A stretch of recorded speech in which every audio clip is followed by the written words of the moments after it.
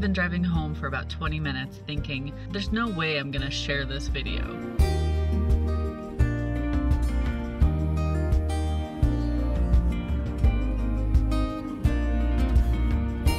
But then I remembered how much frustration and trouble I had when I first started going outside to paint. And I thought, what the heck? I'm the only artist who struggles this much. Everyone else can do it so easily. Because not a ton of artists that I looked up to shared like their behind the scenes process and especially not their mistakes or like the really bad paintings. I would look at their Instagram feed and just see absolutely stunning, beautiful plein air paintings. And I know that's kind of naive because of course those artists have however many years, many, many years of practice behind them. So when I was first starting, there's no way I should have been comparing myself to that. But that's just what happens on social media. It's just so frustrating when you're first starting out. Since today is special, it's the summer solstice, it's one of my favorite days of the year. I stopped those negative thoughts and decided when I get home, I am going to edit this video and share it because I just think that it's better for other artists out there to see the truth that there will always be times when you struggle, no matter how well you're doing in the studio, no matter how far you've come as an artist and how much you practice. I know that every artist is gonna have bad days, so I don't wanna hide all of my bad days. I'm not gonna share every single mistake or bad painting I do forever, but I think it's important to share it sometimes, and especially when I had the most amazing day at that location. I'm so insanely inspired. Like, I want to go back to the studio and paint 50 paintings that I saw there. okay, so enough rambling. I am going to head home now and edit this video. And through the power of editing, you are now going to watch what I edit.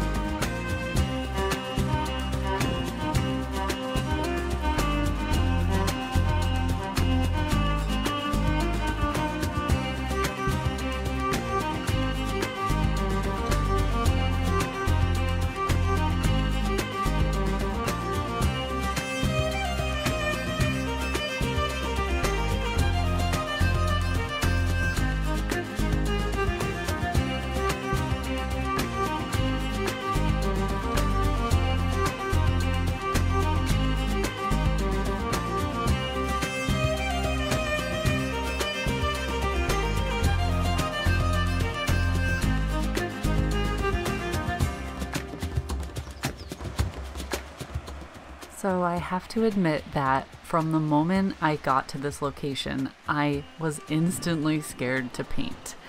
It was just so overwhelmingly beautiful, um, but I'll talk about that in a little while.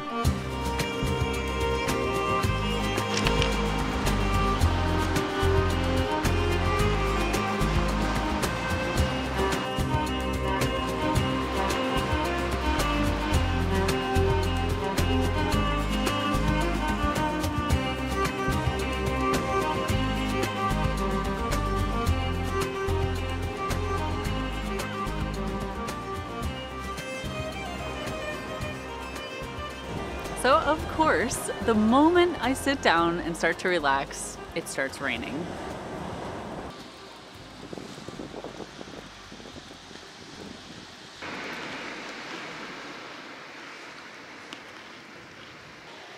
I'm about to finish my snacks and it's time to paint. And I'm so intimidated because I'm just in awe of the beauty right now and the colors. I'm it doesn't seem real. like there's it almost seems like I have a filter over my eyeballs that's like increasing the saturation of the water of the green that's on the cliffs. Plus, I just don't even know what I want to paint. I want to paint everything. I want to paint the waves on the shore and the reflective sand and the beautiful cliffs coming down. And I want to paint the rocks over there. And then I want to climb way over there and paint the super distant cliffs and hills. It's like so overwhelming right now.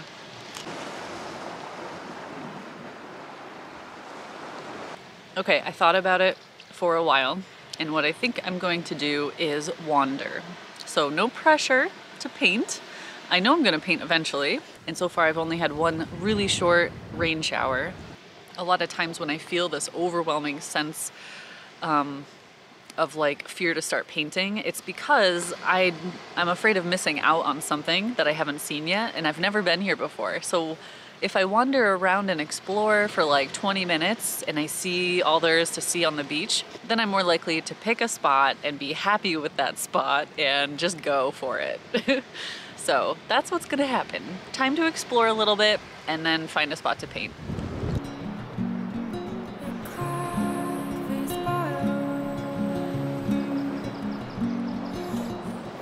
Look at how neon green this is. That is so intense.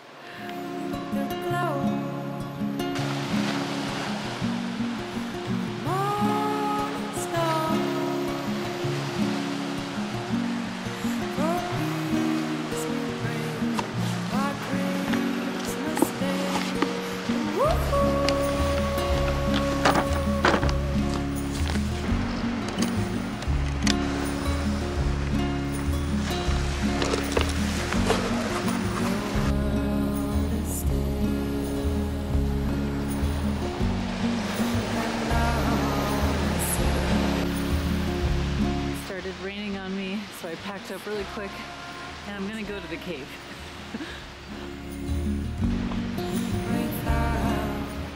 Looks like I won't be going in the cave, but it's cool. And maybe next time I come, I will bring water shoes.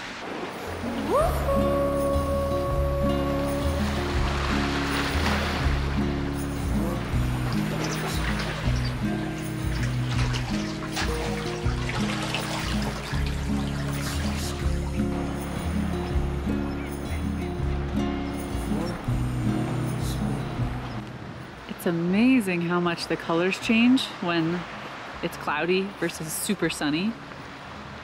I love both. I love this moodiness. All the gray makes the really intense colors pop out even more. Well, there's no sign of the clouds stopping. It just keeps getting darker and grayer. But I just I really want to paint, so I'm gonna risk it. I'm gonna set up over here because at least I can like hide next to these cliffs if I absolutely have to, like if it starts chucking it down. Um, plus this is an amazing view over here.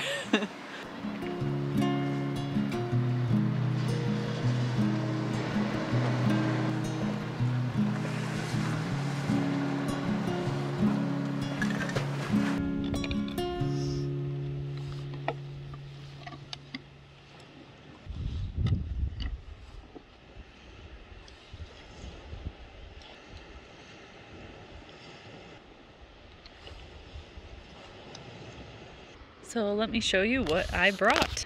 I have two portable palette micros. This is watercolor, this is gouache. This is my mixing space, so this is just palette paper taped to this board, this tray.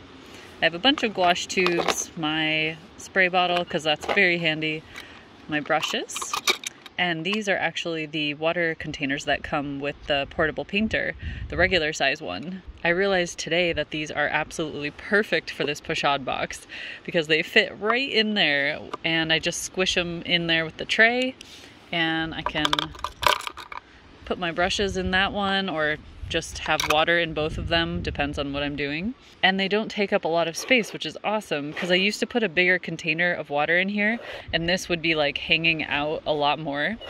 So now it's a little bit more contained. And I just have a clamp that's holding my sketchbook to the top area. Um, I'm keeping it kind of flat today. This is what it looks like from the side. I have a shirt under there that kind of holds it up a little bit, but for the most part, it's almost completely flat. If I were standing up, I would keep it up at an angle so that it would be easier to paint, but when it's on my lap, it's just much easier to have it this way. Oh my god. I literally just set up um all the I just got set up to paint and the sun is glaring down on me again. And all the colors are different again. I mean, I'm still gonna paint, but it's just like this is such a huge struggle when I paint outside. The nice thing about having more sun is that I get more shadows, which is really fun to paint. When I first start the painting, I'm thinking about my underlayer or the color that's going to be on the base of the painting. And my personal preference is to use a very bright, intense color, maybe something that will complement colors I'll be using later on. So in this case, I'm going to be using a vibrant pink color and I'm just using my watercolor and my gouache interchangeably. I'll add white if I want to desaturate it slightly. Um, so I'm, I'm actually going to be doing kind of a value study in a way as the underpainting. And then usually I squint and try to see where my darkest darks are first.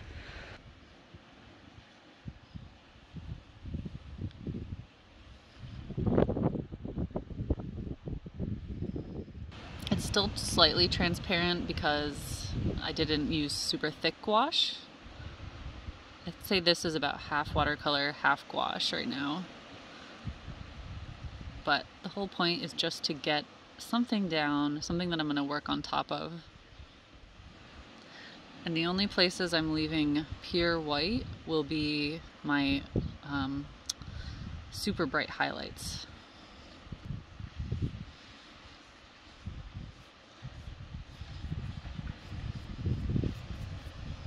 This is a bit of a different strategy than I've shown previously, but it's something I've been doing more and more, and I have so much fun with it.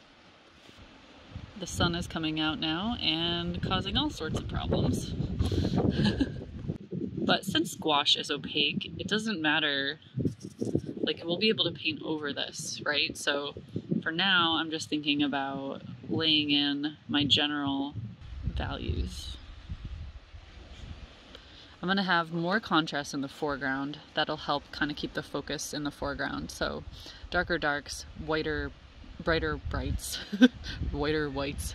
Um, and then the sky is definitely going to be pretty pale. It's kind of hazy, but with the sun coming out, it seems to be clearing up a lot of that haze. I may get some stronger shadows and colors. Virtual Sarah here. Hello, everyone. I'm doing a voiceover for some of the painting because while I was painting, I just started to get so anxious about not being able to do this location justice. And I was like really trying to focus. and it's extremely difficult to focus uh, when I'm talking.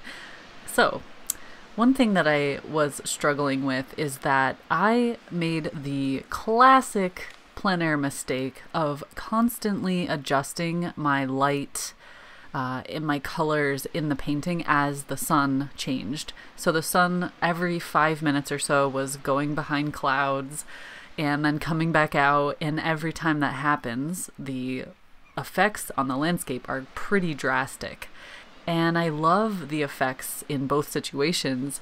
But yeah, the problem was I just kept changing my painting, and that's like a huge no no. Don't do that. you need to pick your light situation. If you got there and you started painting and it was really bright and sunny, you have to remember how that looked instead of changing it throughout the painting. So for the most part, I did go with more of the sunny look in my painting. I was really trying to hold on to those bright summery colors and the and having fun with the highlights and the shadows and such. But occasionally I would sort of come back in and dull things down because that's what I was seeing when the clouds were out. And because I was second guessing myself like that a lot, I was not confident at all. So when I stopped talking, I was kind of thinking, well, this is just going to be a good practice painting. I'm definitely never going to share this. and it's just one of those things that happens once in a while. I'm not trying to like put myself down or anything. This happens to every artist out there. It's just that I don't always share those moments because I definitely feel way more vulnerable when that happens to me. It's so silly to feel embarrassed about your painting because when you are learning, when you're on the path of discovery, mistakes are a huge part of the learning process, which is why I choose to share the bad with the good. And I'm not saying this painting is terrible. It's definitely not my best, but it's not my worst either. It's just that it was kind of a frustrating experience because I was struggling with that lighting and I was so overwhelmed by the beauty and I just wanted to capture it exactly as I felt when I was there. Uh, and when that doesn't happen on the canvas, I do tend to put myself down as an artist. And, you know, that's just something I'm working on. Some days I'm just stronger than others, I guess. And admittedly, as a YouTuber, I definitely feel even more pressure to always do a really good job. it's not just for myself, but it's like when I know I'm going to film something, oh man, the pressure goes way up. And so this kind of goes back to sharing the authentic experience, which I'm always reminding myself is my goal with my content online. I want to share the good, the bad, the struggles, the successes, everything in between. Because when I die, like, what am I leaving behind? I don't just want to leave behind a portfolio of pretty images. I want to leave behind something a little bit deeper, a little bit more meaningful. Sharing a connection with other artists along the way is a huge driving force for me. It gives me so much energy and inspires me a ton. So I'm not trying to be morbid or anything, it's just something I think about. I've been really into drawing almost with gouache, like doing little tiny lines and um, just like exaggerating little things as lines with a tiny brush like this. It's good because it reminds me of certain shapes. So like if I take this back to the studio and I want to paint it bigger, I look at these little lines and I'm like, oh yeah, that's right. There were like tons of little spiky bits or long striations in the rock and all of that. And it just exact the fact that it's exaggerated makes um, that pop into my memory like really strong. So it's kind of fun. Plus, it's useful. It's informative.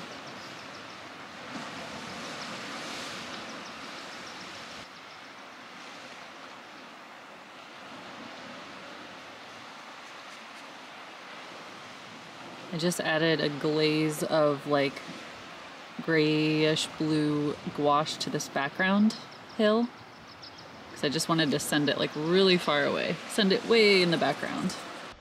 A couple big sweeps of white on the clouds because that bit's a little distracting.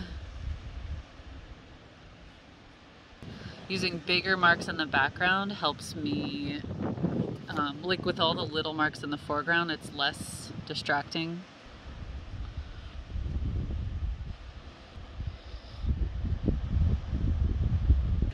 I let it dry and I walked away for a while and I came back and I was like, okay, I know what I need to do.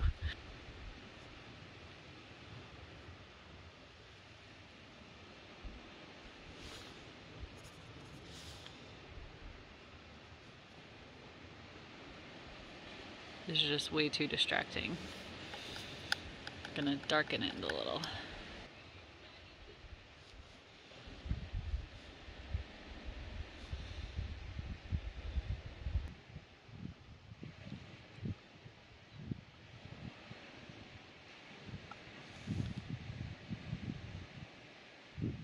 Doing a glaze of like a peach tone over some of these rocks where the light is hitting them because um, I didn't go bright enough. I was just, I think I was just too scared. and it also kind of solidifies them a little bit because they were all choppy before. And there's some big formations over there that I needed to capture. Makes more sense now. There's still some shadow, so I'm gonna drop in some blue.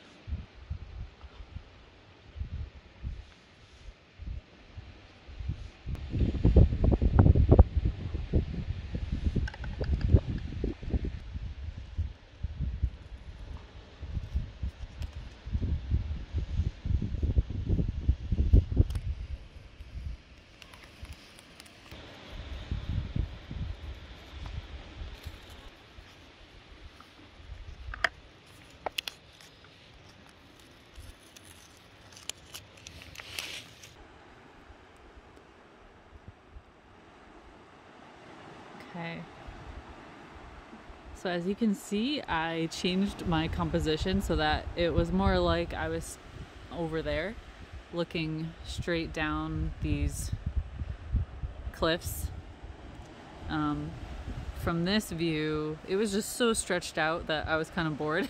so I wanted to draw each of these cliffs going back into the distance. It's very messy, very playful.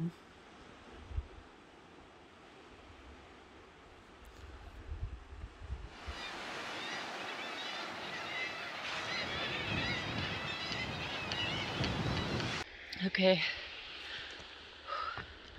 I have to admit I hit a wall, mental, mental wall. I am completely drained. I mean, I suddenly got so tired I almost fell asleep on the rocks.